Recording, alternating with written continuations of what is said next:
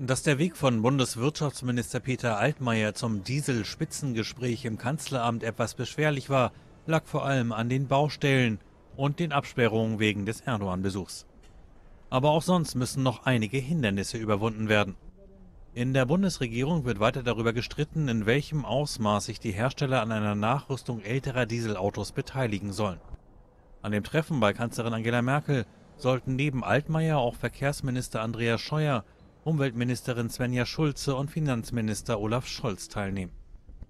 Der Sprecher des Umweltministeriums machte am Freitag in Berlin nochmals deutlich, dass seine Ministerin Hardware-Nachrüstungen bei älteren Dieselfahrzeugen für zwingend notwendig halte.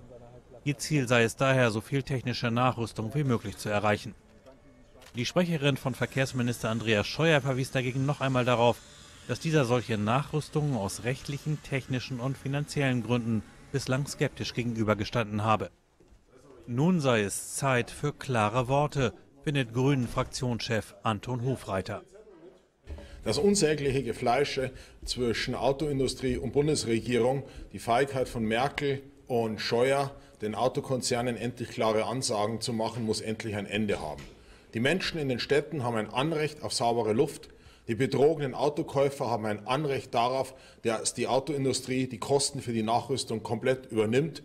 Und die Städte brauchen eine blaue Plakette, damit es einfach, simpel und unbürokratisch überprüfbar ist. Volkswagen hatte sich als erster Hersteller beim Thema Hardware-Nachrüstung kompromissbereit gezeigt.